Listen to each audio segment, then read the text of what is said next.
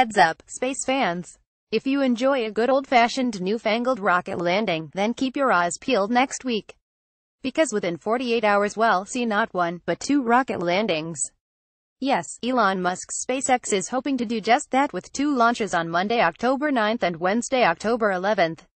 The first is scheduled for Monday at 8.37 p.m. 1.37 a.m. British Summer Time, when a Falcon 9 will launch 10 Iridium Next satellites from Vandenberg Air Force Base on the west coast.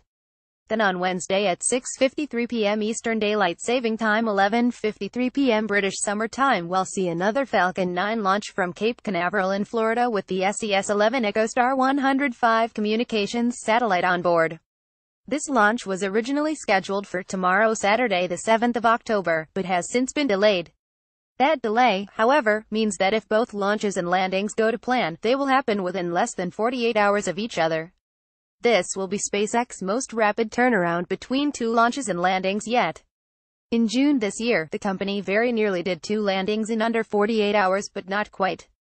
They managed to launch and land in 49 hours and 15 minutes, which just isn't good enough if you're trying to be a reusable rocket company kidding.